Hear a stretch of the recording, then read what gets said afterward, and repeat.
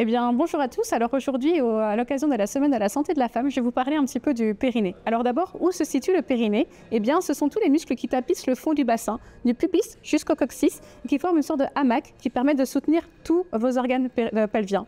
Ils sont également extrêmement importants lors de la continence et lors des rapports sexuels.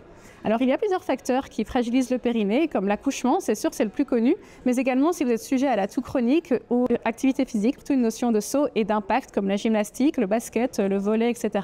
Ça ne veut pas dire qu'il ne faut pas faire ces activités physiques, mais peut-être que cela nécessite certains exercices spécifiques à côté.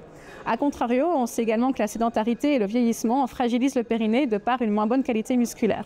Donc vous l'aurez compris, c'est important de maintenir une bonne activité physique, avoir un périnée en bonne santé le plus longtemps possible. Maintenant, comment savoir si on contracte son périnée de la bonne manière? Eh bien, vous devez penser à euh, serrer l'anus. Je serre le vagin et je serre l'urètre. Normalement, entre l'anus et le vagin, vous devez sentir que ça monte quand vous contractez et que ça redescend quand vous relâchez. Pouvez essayer de faire des forces maximales comme ceci, des grandes piques, mais également travailler l'endurance musculaire en essayant de faire des contractions moins fortes, mais cette fois-ci tenues sur 5, 10, 15, voire même 15 ou 20 secondes si vous y arrivez.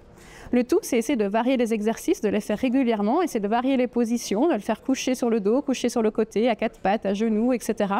Et pourquoi pas les intégrer dans des exercices de gainage. Alors n'hésitez pas à bien penser à votre périnée au quotidien, c'est important pour votre santé intime et pour votre bien-être global. Alors à bientôt